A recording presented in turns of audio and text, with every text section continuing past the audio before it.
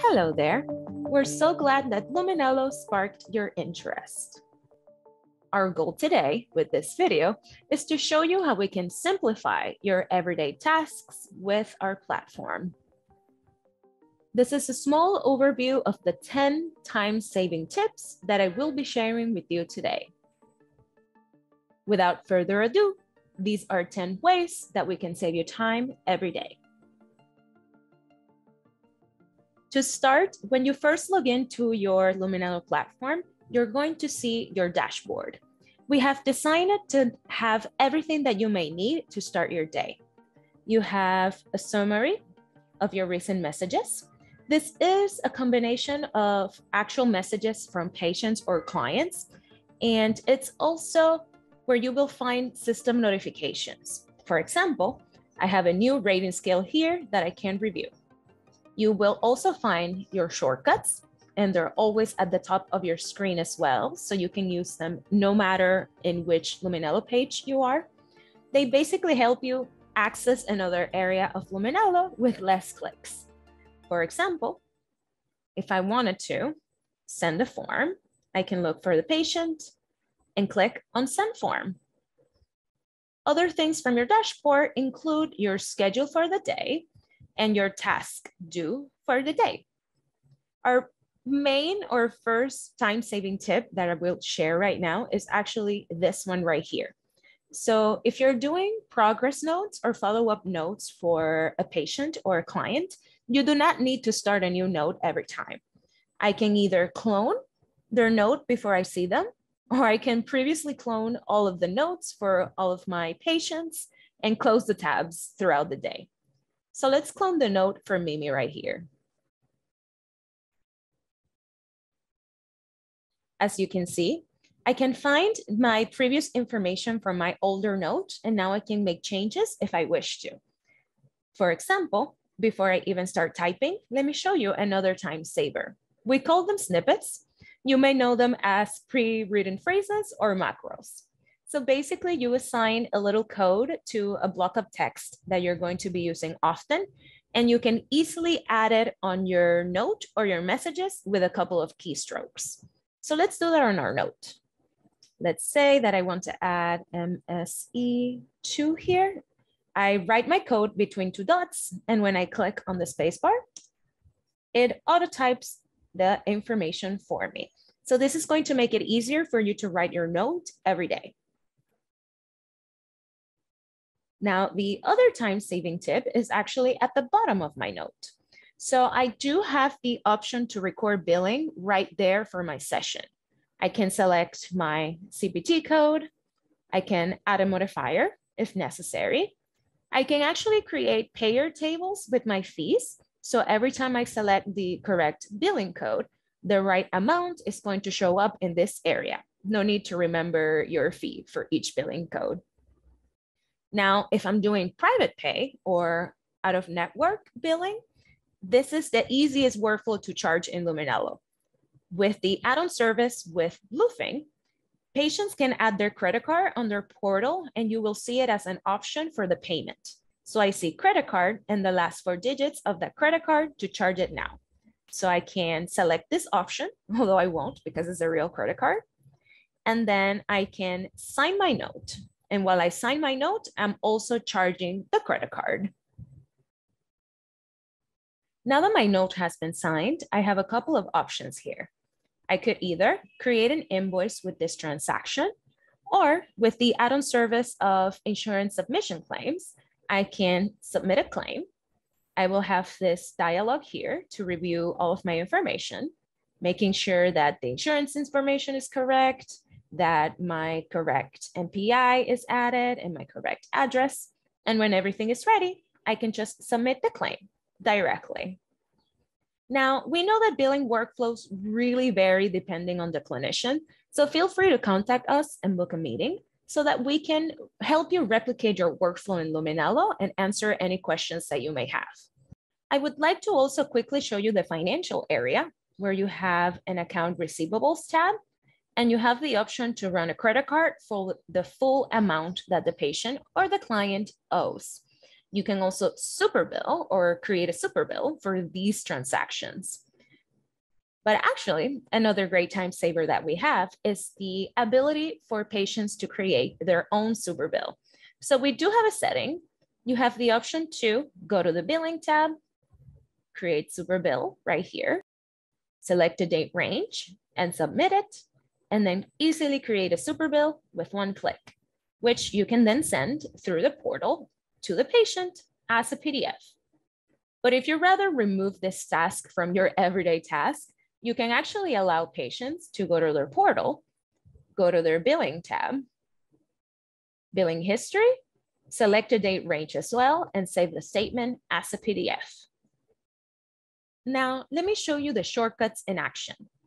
I can click on the shortcuts tab, look for my patient's name, and decide the action that I want to perform. So let's say I want to send a message. It's going to automatically take me to that patient's chart on the email tab where I can message my patient. If this isn't the correct patient, I can easily click on the title and go to somebody else's chart. Now, one of our other time-saving tips is actually located on the task tab.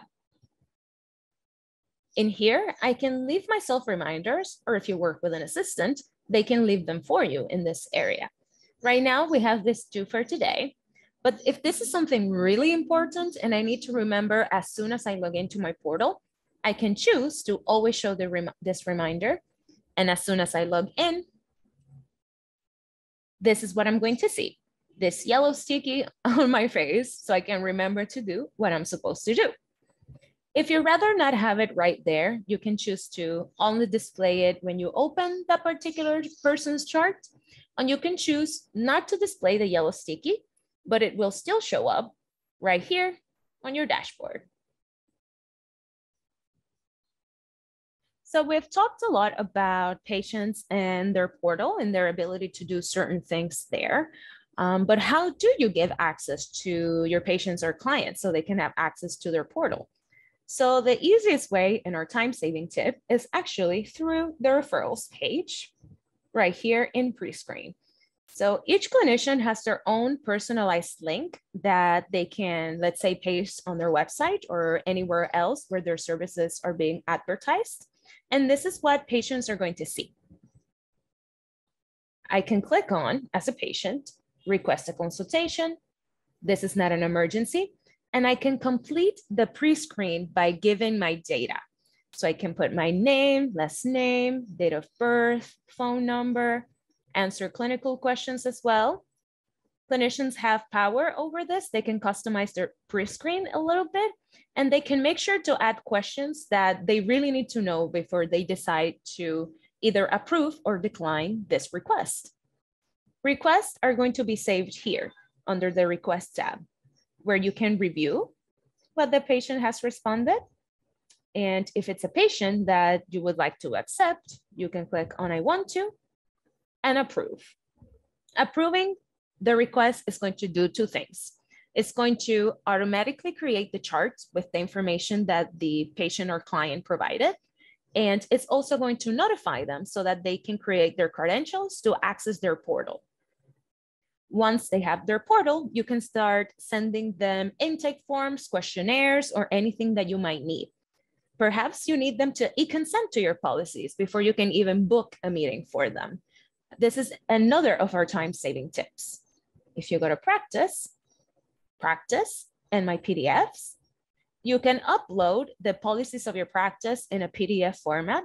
And as long as display in portal and enable for e-consent are checkmarked, you don't have to send these forms to your patients every time they have a new portal. The PDFs will already be available in their account. So as a patient, I can go to my documents tab, find the PDF, download it if I need to, and then I can click on, I have read and agreed to the terms of this document and sign it. No need to have any PDF editor or anything of that sort. And of course, you will be notified once they e-consent to your policies. Another great time saver that we have is actually here on the calendar. So remember when we cloned the note for Mimi? I can see that I signed my note because of this circle with a checkbox. If I have saved my note as a draft, I will see this little clipboard. I can see I already billed for the session. And if I wanted to also check this patient in, I can click on the appointment and check in. There are also other shortcuts here. If I click on the appointment, I can clone my previous note if I have one. If it was the first time seeing the patient, it would say compose note. I can record payment for the session. And if an appointment is online, like this one that has the little camera, I can quickly click here to go to my Doxy waiting room. So you can log in from your Luminello platform. Our integration with Doxy allows you to book an appointment with someone that has access to their portal, and you can easily turn it into an online appointment. The patient will receive a notification, so no need to send the link. They just have to log into their portal, go to their home screen, and the link will be readily available at all times. With online booking, you also have the ability of allowing patients to book their own appointments in your calendar. As a patient, I can go to my schedule, book new appointment, select my provider. Location is just the name of the calendar. You have the option, option to mix and match. So if say if you have a hybrid, some of your appointments are telehealth while others are in person, you can notify them right here on the location. I can select my type of appointment, show available times, and I will be able to book on an available slot. Now, how do I separate those times on my calendar? So you have the option of blocking times. Let's say that from this time to this time, I want to reserve for online booking. I can choose what types of appointments I want to see that day. You create the, these previously. I can connect them to one of my calendars, and then I can save that availability. So your patients won't have access to your whole calendar, only to the areas that you have separated for that option.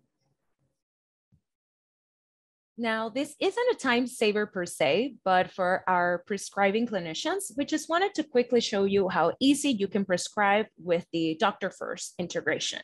So once DrFirst is integrated, you can just access the patient's chart and go to the RX tab and click on create new prescription. You can look for the medication. You can select a pharmacy right here. Once you look for the pharmacy the first time, it will be set as a default for that particular patient, so no need to do it every time. You can also add the instructions. So take this amount this many times throughout the day. You can also add quantity and refills if it's available for that particular medication.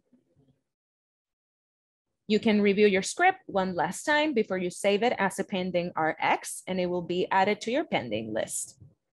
Once it's in your pending list, you can either add more medications to send them all at the same time, or if you're only sending one, it will prompt you to add your signature password.